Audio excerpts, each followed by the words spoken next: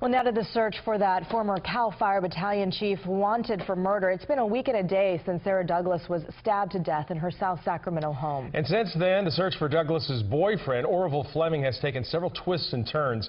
KCRA 3's David Bienick now on where the manhunt stands right now. The biggest question in the search for Orville Fleming remains, where could he be? Sacramento Sheriff's investigators say he is likely no longer in the Sacramento area, not near the South Sacramento home where his girlfriend Sarah Douglas was stabbed to death, and not near where his CAL FIRE pickup truck was abandoned in Elk Grove.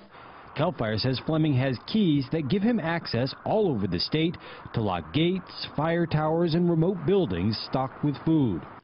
How big is the search? The Sheriff's Department says 12 detectives are following up on leads. Fleming is familiar with the Santa Cruz Mountains, Yosemite, and the Sierra Nevada. Wanted posters have been distributed, but there is no ground search. The FBI is not formally involved, not until investigators can produce probable cause Fleming has left the state. When was Fleming last seen? According to court documents, Douglas' sister was on the phone with her the night of the murder.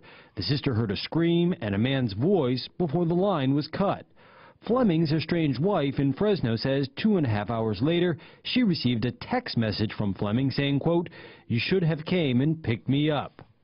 Two days after that, there was a reported sighting in Los Angeles, but that's now believed to be false. What's the motive? Douglas's family says the relationship was in trouble. The two had met through a website used by prostitutes for solicitation.